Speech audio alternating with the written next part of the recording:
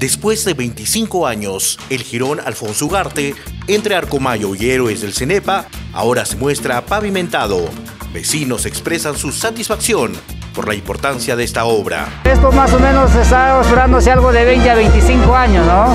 De que ha venido gestión y gestión y gestión y al final nada, ¿no? Pero hoy, gracias a Dios, se ha hecho una realidad.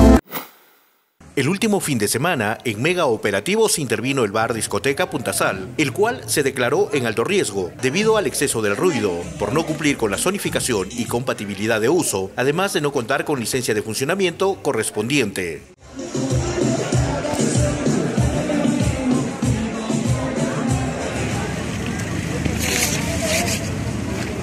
La abogada Denise Aldaña, subgerente de control, fiscalización y policía municipal, sostuvo que el local funcionaba como bar y discoteca, pero el rubro de su actividad era cevichería. El gobierno local anuncia la apertura de una escuela municipal de chefs.